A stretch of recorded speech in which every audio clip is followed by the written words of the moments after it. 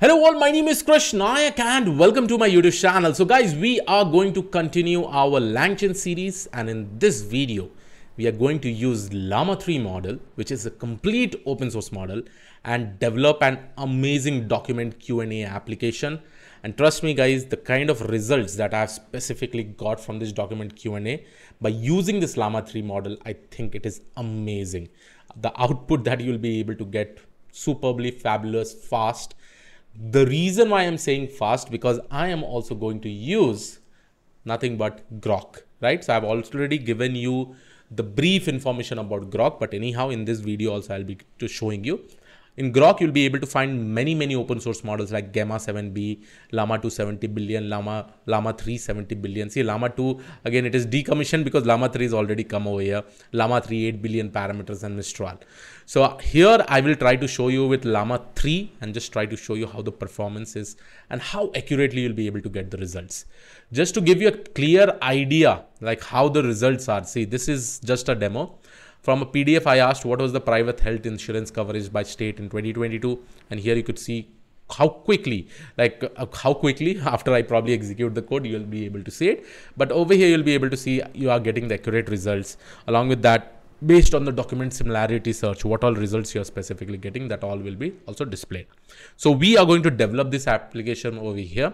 Uh, again, our main aim is to learn in such a way that you'll be able to understand all these things. And we will go ahead with respect to step by step how to implement this particular project. Again, over here, we are going to use this Llama 3.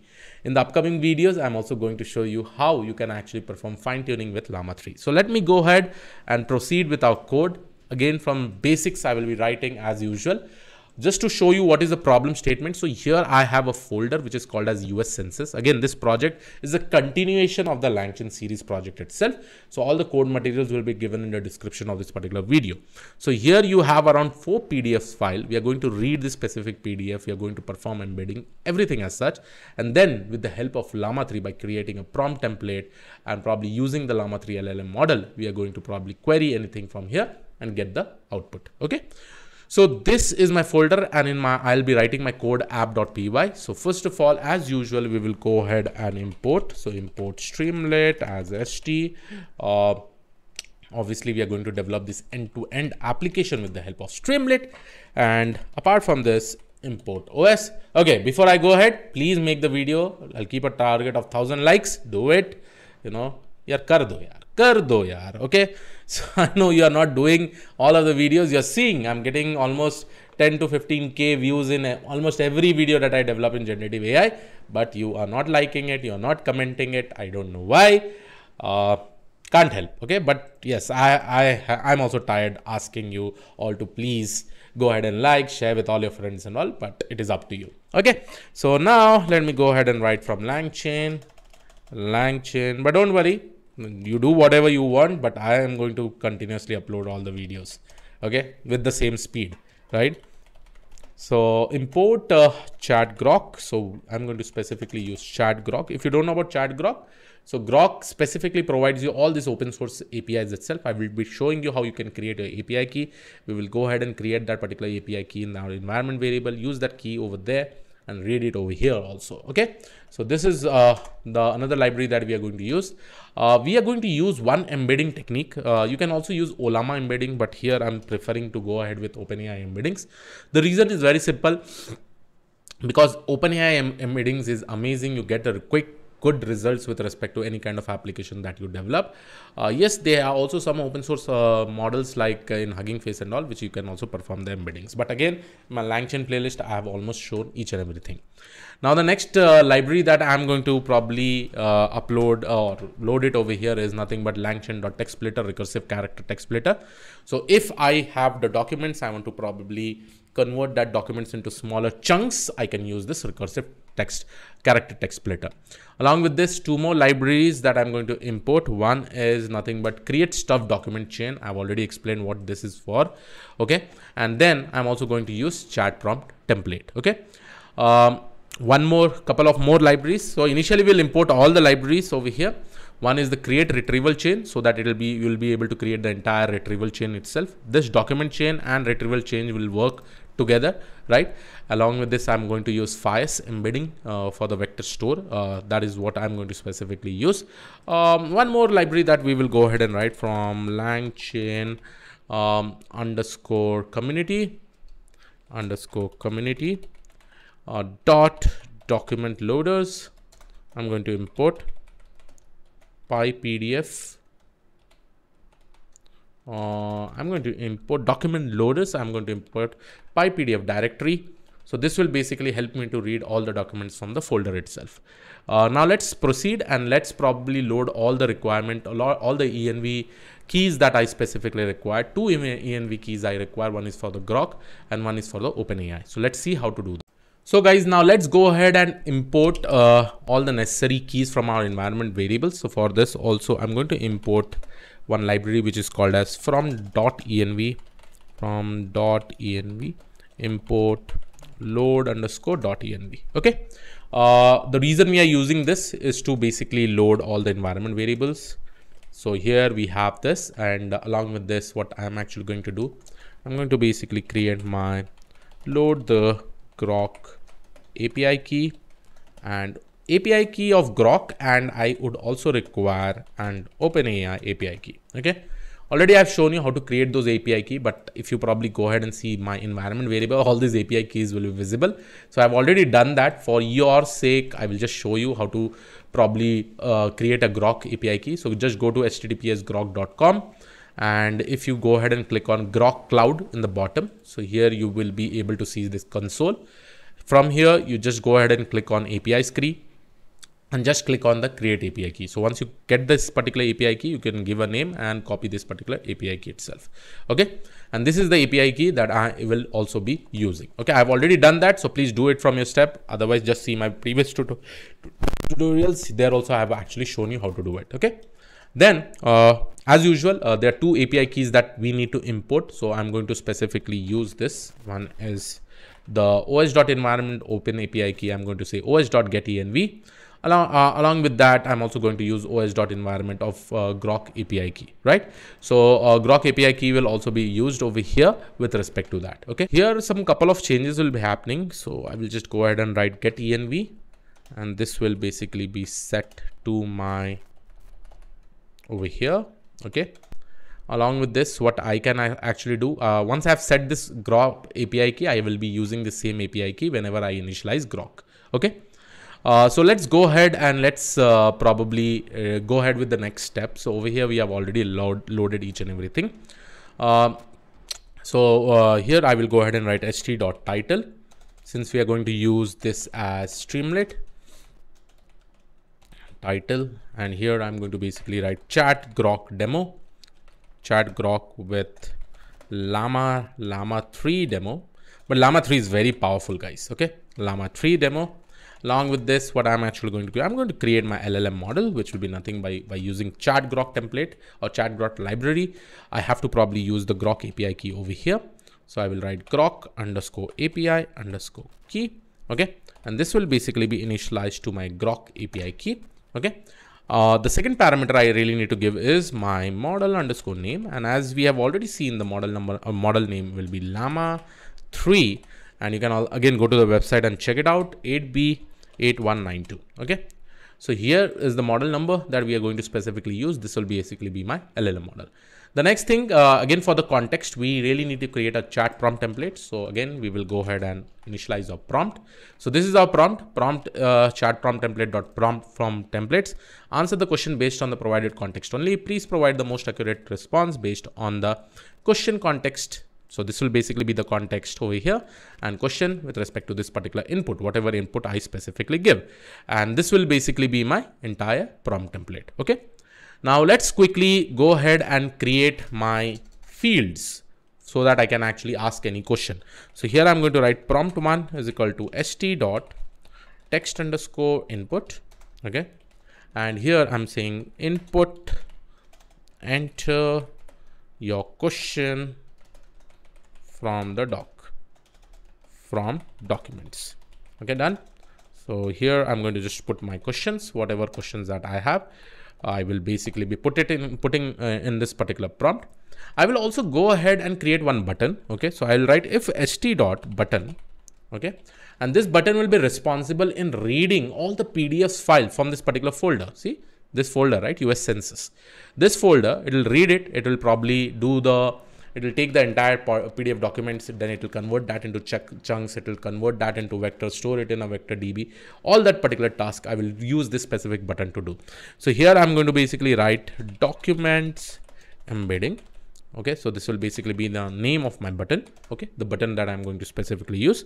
And here I'm going to create my retrieval. Let me go ahead and just call one function. Let's say I'm going to basically say vector embeddings. Okay. So this will basically be my function that I'm actually going to call. Uh, still this function is not created. I will go ahead and create it and we'll do all the step by step, whatever process we specifically do. First of all, we'll read the documents, then we'll go to the next step and all, convert that documents into chunks by recursive character and many more things, right? And then finally, this is done. I will go ahead and write st.write and let me just go ahead and write over here, vector store db is ready. Vector store db is ready, okay? So done, this is done with respect to this. Now let me go ahead and create my function definition vector embeddings. Vector embedding. Now vector embedding over here uh, what we are going to do over here step by step all the performing things we really need to do. Now see uh, in vector embedding first of all what i will do i will go ahead and create my embeddings. Uh, so let me go ahead and write embedding embeddings okay and this will be initialized to my OpenAI embeddings. Now understand, all these embeddings will be further used in other places, right? It will be used in other places. So it is better that we store all these things in some sessions, okay? So here I'm going to write st dot session, okay? st dot session underscore state, okay? Dot embeddings, okay? And this will basically be initialized to my OpenAI embeddings, okay? After that, again, I will go ahead and write st dot session underscore state. Okay.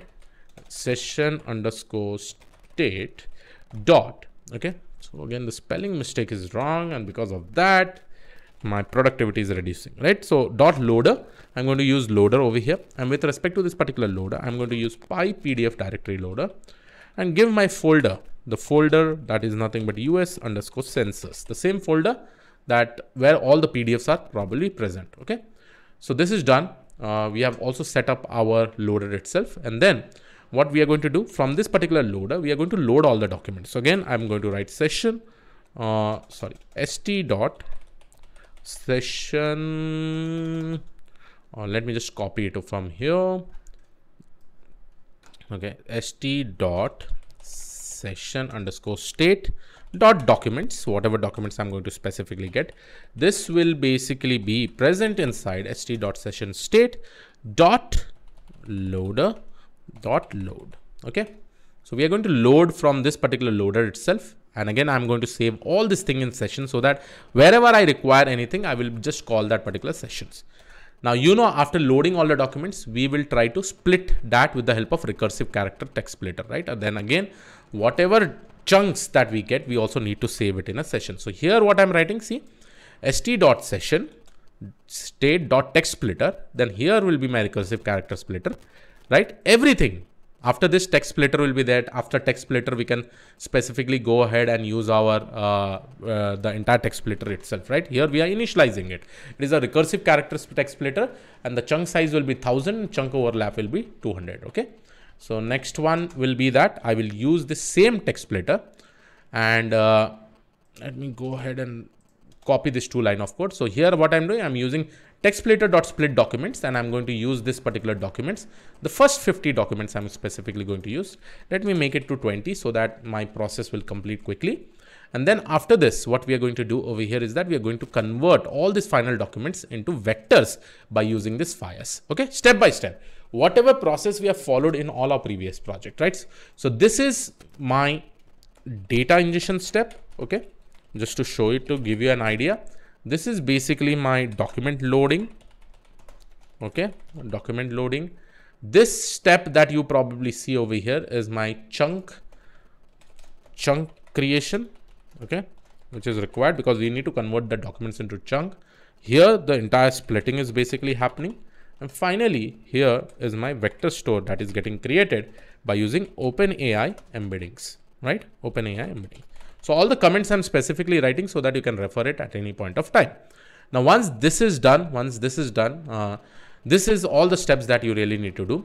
What I will do is that in this session state, we will go ahead and because at the end of the day, I require these vectors, right?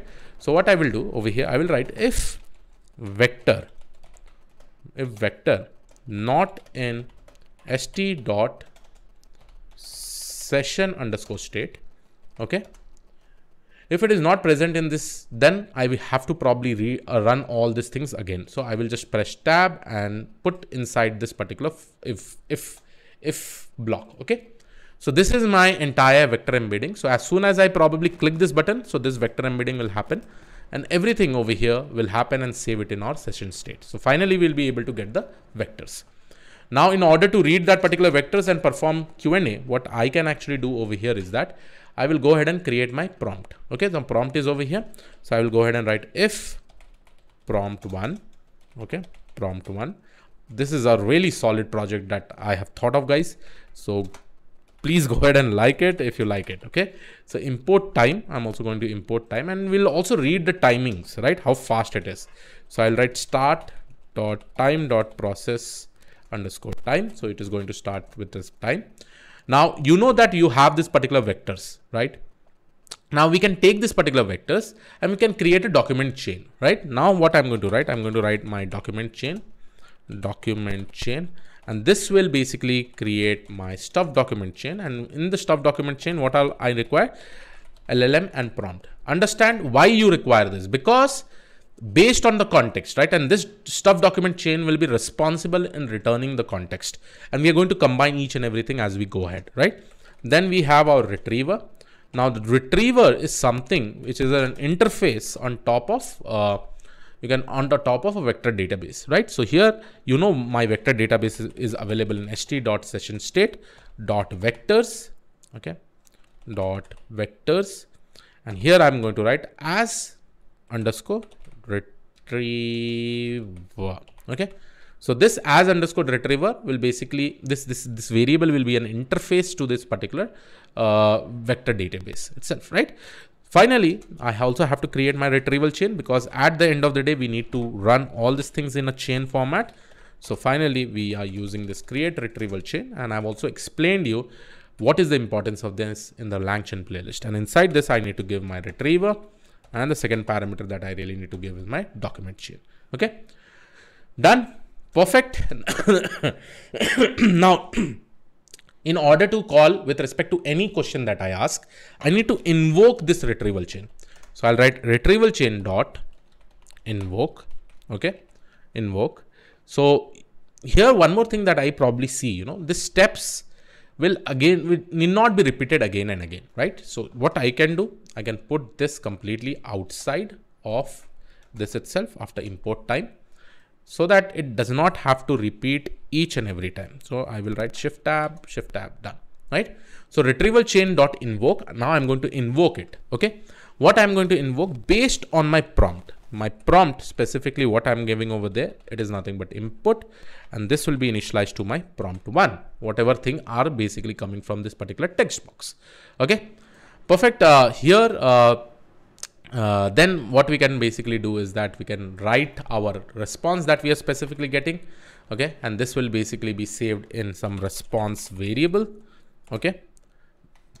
And I can paste this particular response. And first of all I will close the timer over here. So timer dot process minus start and then we are going to write the entire answer of the prompt, right? Whatever answer I'm going to get from the document, okay?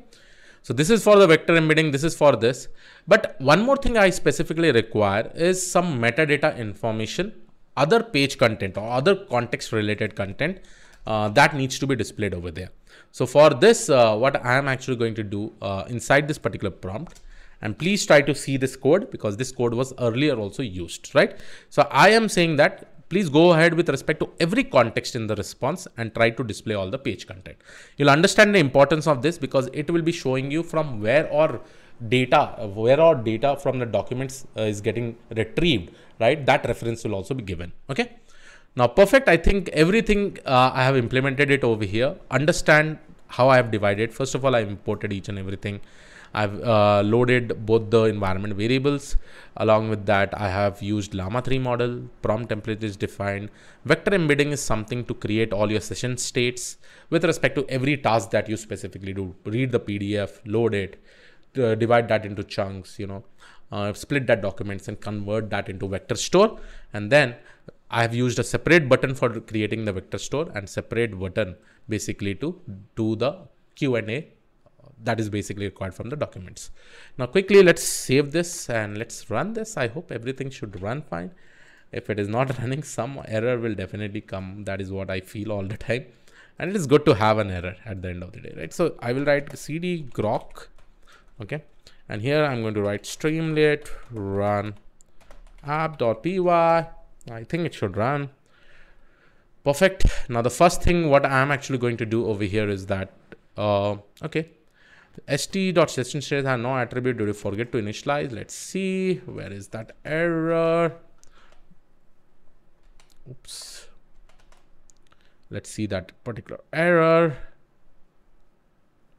Some key error is there. So if if vector vectors if vectors it should be vectors okay and here also we have used vectors okay perfect now i think it should run always rerun okay. Still it is not working. Okay. Uh, okay. Still it is showing errors. Uh, vectors as retriever st.session has no attributes. Did you forget to initialize? Okay. Uh, let me see. Don't worry. If error is there we will try to fix that error. I'm not going to edit this particular code each and everything as such. Okay. So this it is better that we move it inside this particular prompt. But before that only it is asking for the reference. So let's run less inside this. Okay. This is how you solve an error. I'm also showing you that. Now let's click on this. If once I click on this document embedding, the task will be that it will probably read from the entire documents, all the documents. It will divide into chunks. It will convert into a vectors and your vector store DB will be ready. So once I click this, you'll be able to see one message in some type that your vector DB is ready. Okay. Let's see okay and uh, with respect to the code also i will just go ahead and show it to you right now. Any error is there or not? Okay so this was the previous error that we got. Okay your vector db store db is ready. Now i will open one pdf okay and this pdf uh, this is one of the pdf that is present over there okay. Uh, let's ask this question. What is the public health insurance coverage by state in this one okay? So i will say what is the public health insurance cover by state. I will go ahead and execute this. So here you can see in 2020, 13 states saw the increases. So amazing, right? And if I probably show you the code, right? If I show you the code, response time is just 0.125. Just imagine how fast this LPU inferencing engine is. And with the help of that particular API, how quickly are able to get the results, right? Now here, whether this answer is correct or not, 37.2%, somewhere it should be there. You can see over here, um, 37, 34, 34% is there. But if you want to see the references from where it has taken, okay? Because understand from all this data, it is summarizing, it is giving you the result. See over here, changes in public coverage from 21 to 22, 37.2%. Okay, so let's search for this. Okay, somewhere this should be given.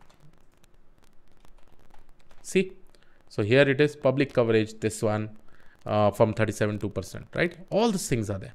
Let's let's ask this. Okay, let's uh, let's see some more questions. For anything that you ask, what is health insurance coverage? Okay, I will just go ahead and ask this question again and press enter because one time I've created my entire vector store DB, right? And here you can see, according to the provided context, health insurance coverage refers to the state level estimates of health insurance using American Community Survey. And this is the same similarity search. Here you can see this brief present state level. So from the similarity search, all this information has been picked up. Isn't it amazing, right? So I hope you like this particular video. This was my entire end-to-end -end project. Uh, and yes, uh, keep on rocking, keep on learning. Uh, this was it from my side. I hope you like this particular video. Uh, if you like it, please make sure that you subscribe press the bell notification icon and I'll see you all in the next video. Have a great day. Thank you and all. Take care. Bye-bye.